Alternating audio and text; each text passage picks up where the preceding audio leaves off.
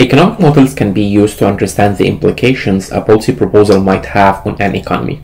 The first part of the question is Suppose that the Australian economy is at equilibrium, use the aggregate demand aggregate supply model to graph Australia at the long run equilibrium.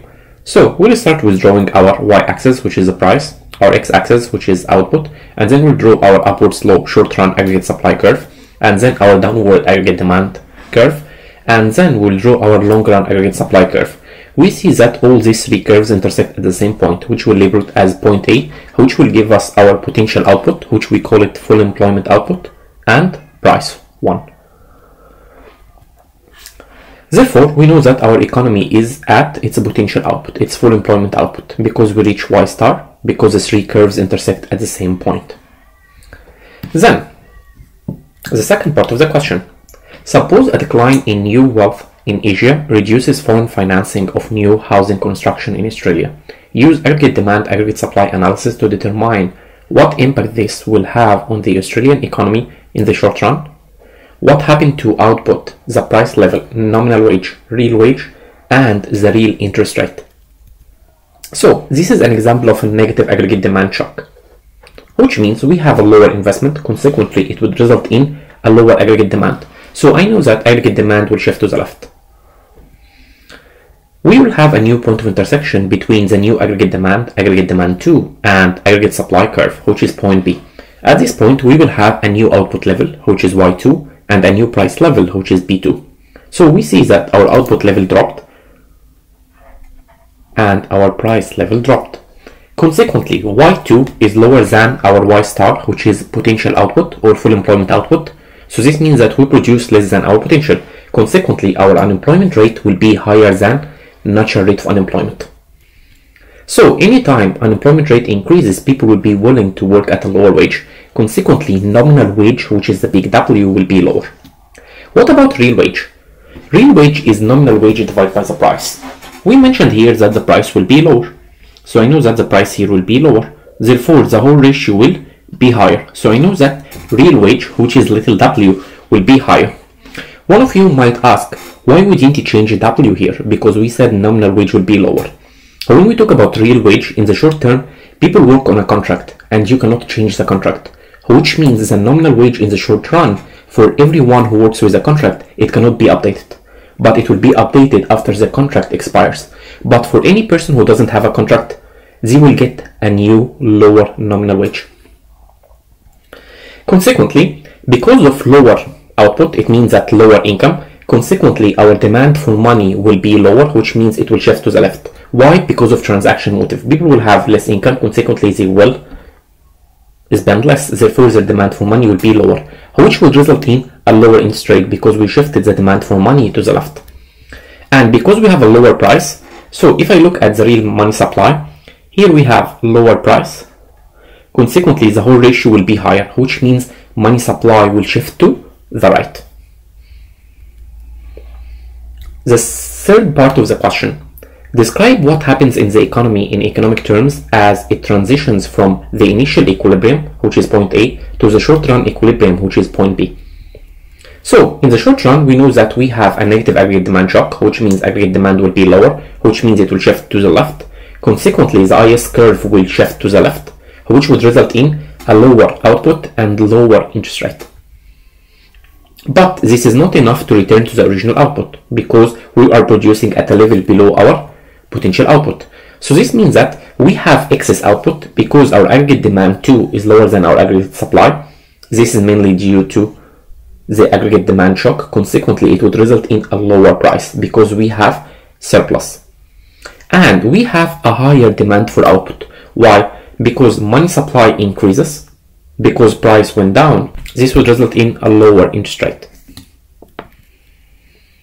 And we know that the supply of output will be lower. Why? Because now we have a higher real wage. Consequently, firms will be reluctant to produce more. The next part of the question is why is the short run equilibrium not a long run equilibrium? Because we know that Y2 is lower than our full employment output, our potential output, Therefore, the labor market is not in equilibrium because our unemployment rate is higher than natural rate of unemployment and our price level is below than P1 which is our original equilibrium price. As a consequence, wages are not properly set. They are not at equilibrium. The next part of the question. In the absence of any intervention, capture what happens to the economy in the long run on your graph. So, if we don't do anything by the government, we know that our output Y2 is below than potential output, which is Y star. Consequently, our unemployment is bigger than natural rate of unemployment, which would result in a lower nominal wage. If we have lower nominal wage, this means that producers will have the incentive to increase their production. Therefore, our aggregate supply will shift to the right. So when aggregate supply will shift to the right, I know that the three curves will intersect at the same point, which is aggregate supply in the long run, which is aggregate supply 2, and aggregate demand 2, and long run aggregate supply. Therefore, I will look at the point of intersection between the long run aggregate supply, aggregate demand 2, so I know that aggregate supply will shift to point C, and we will call it aggregate supply in the long run. So now the three curves intersect at the same point, which will give us our potential output, Y star, and the price level will be lower, which is price in the long run. Therefore, the price in the long run will be lower than P2, which will be lower than P1. The next part of the question is, describe what happens in the economy in economic terms as it transitions from the short-run equilibrium to the long-run equilibrium. So, when we move from the short run to the long run, we know that Y2 is lower than Y star, which is our potential output. Consequently, unemployment rate is bigger than natural rate of unemployment, which means we have excess unemployment. This would result in a lower nominal wage. Because of lower nominal wage, companies will have the incentive to produce more. Therefore, aggregate supply will shift to the right.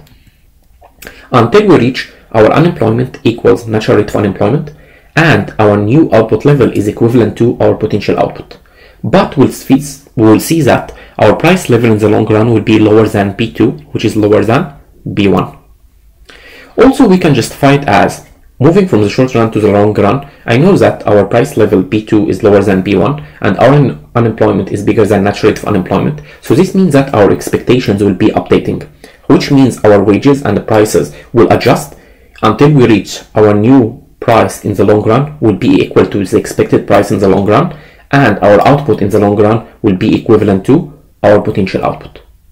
The next part is, suppose the RBA intervenes with monetary policy. What type of policy should they implement? Capture what happens to the economy in the long run on your graph. Describe what happens in the economy in economic terms as it transitions from the short-run equilibrium to the policy-induced equilibrium.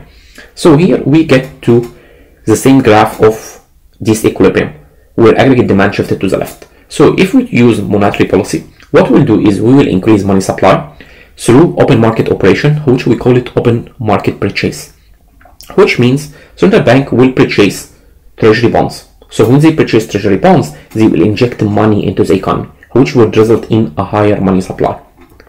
Consequently, because of higher money supply, this would result in a lower interest rate. A lower interest rate would result in a higher investment, which we call it adverse crowding out, and because of higher investment would result in a higher aggregate demand, which would result in aggregate demand will shift back to its original level from aggregate demand to, to our original aggregate demand, which means we return back to our original output, which is potential output. Therefore, Y3 will be equal to Y3 and our price level will increase to our original price level, which is price 1. Therefore, P3 will be equal to P1.